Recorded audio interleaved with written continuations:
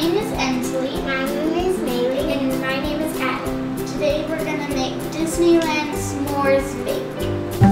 Hi everyone, welcome to Kids in the Kitchen! Before we get started, don't forget to subscribe to our channel.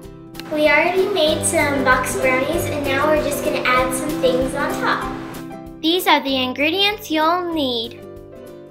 Big marshmallows, hot fudge, and graham crackers. And first you're gonna put marshmallows in.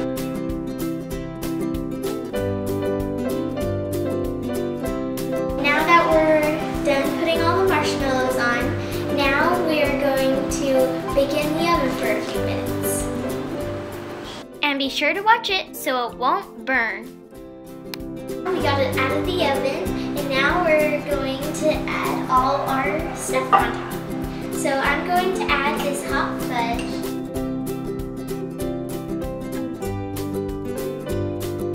It's delicious.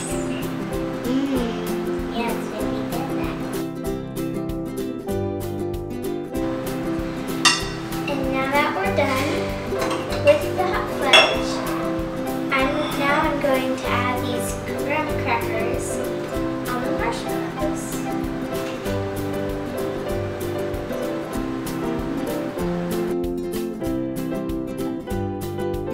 I'm gonna take these crushed graham crackers and sprinkle them on.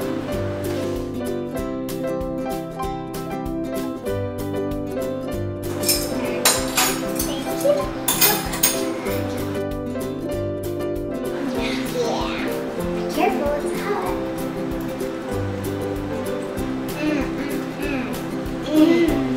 Thanks for joining us today, and we'll see you next time on Kids, in the Kitchen.